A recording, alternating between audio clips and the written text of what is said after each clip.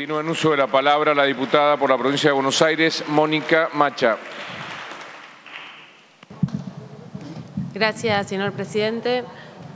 Bueno, em, cuando pensamos en políticas de género, claramente la política económica es central porque justamente estamos hablando de situaciones que tienen que ver con una desigualdad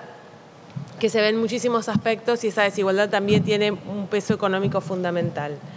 Entonces, em, a la hora de, poder pensar también en las cuestiones que implican el presupuesto y que se ha dicho acá, se le ha llamado de muchas maneras y a mí me parece también interesante pensarla como, pensarlo como un mapa que nos permite en términos del, del, corto plazo, del mediano y del largo plazo poder pensar y planificar las políticas que necesitamos para nuestro país. Y en ese sentido, cuando pensamos en las políticas de género, estamos pensando en políticas que implican la atención concreta de mujeres, de lesbianas, varones trans, travestis, intersex, no binarias, que sufren distintas situaciones justamente por una situación de desigualdad de género y que eso implica em, situaciones de violencia, situaciones vinculadas a, políticas que intentan este, normalizar, digo entre comillas, y que esto implica entonces también todo el desarrollo que se viene haciendo desde nuestro gobierno en términos de políticas de género y de cómo incluir esta perspectiva en todo el gobierno, en nuestro gobierno nacional y popular. Quiero destacar que en lo que ha sido toda la asistencia durante el COVID, durante la pandemia más, extrema, eh, hay un reconocimiento de, la tarea de nuestro país en términos del, PNUD, del, de ONU Mujeres, digo, pensando también en otras, organizaciones que tienen una mirada tal vez más general, más geopolítica y que digo, hay un reconocimiento del, trabajo de nuestro país en términos de perspectiva de género y cómo hemos ido acompañando esas distintas situaciones.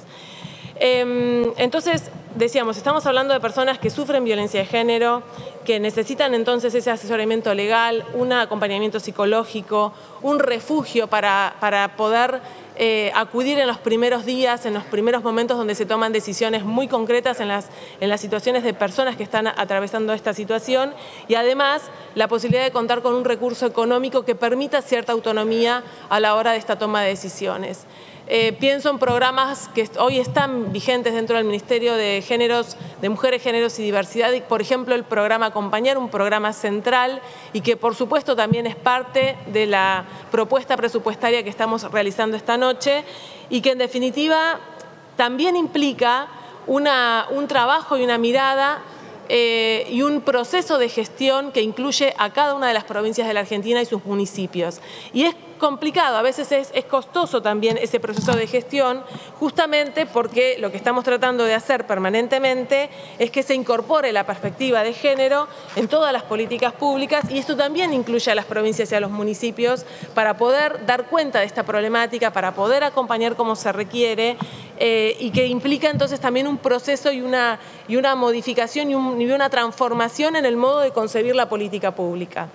Eh, yo quiero traer algunos números me interesaba, digo, empezar por, por, ubicar que estamos hablando de la situación de personas y cómo entonces el presupuesto influye en esas vidas permanentemente y, qué, y cómo pensar también entonces esta propuesta presupuestaria. En el presupuesto 2022 el monto total de las políticas que contribuyen a la, igualdad de género representa el 15,4% del presupuesto total y un 3,4% del Producto Bruto Interno. En total, estamos hablando de 248 actividades incluidas en 48 programas con perspectiva de igualdad. Estas iniciativas provienen de 25 organismos que funcionan en 16 ministerios. Y esto lo traigo porque, en definitiva, cuando hablamos de este tipo de, de perspectiva y política, estamos planteando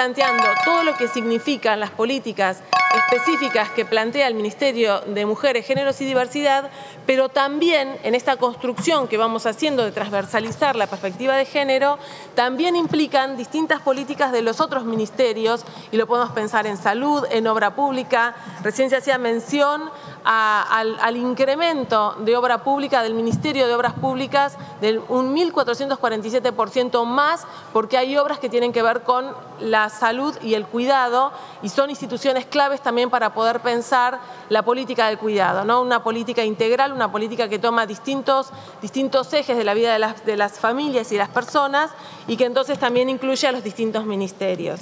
Em, en este sentido, también me parece importante destacar que hay tres espacios principales que tienen que ver con las políticas vinculadas, voy redondeando, vinculadas a la situación de las mujeres lesbianas, varones trans, travestis, y tienen que ver con el ANSES, con el Ministerio de Desarrollo Social y, por supuesto, el Ministerio de Mujeres, Géneros y Diversidad. Para concluir, una, una cuestión más y terminamos. Hoy las mujeres lesbianas, travestis, trans, intersex y no binarias somos parte integral del gobierno. Hablamos de vastos sectores excluidos de la historia, quienes han recibido distintas expresiones del maltrato, quienes a cada paso que dan sufren la violencia normativa y normalizadora. No hablamos de números y porcentajes fríos, hablamos de transformar la vida de personas de carne y hueso que llevan en su piel las marcas del dolor social. De eso nos habla este presupuesto de más igualdad. Este proyecto es la continuidad de nuestra organización por otros medios. Hoy el transfeminismo es política de Estado. Muchas gracias. Muchas gracias, diputada.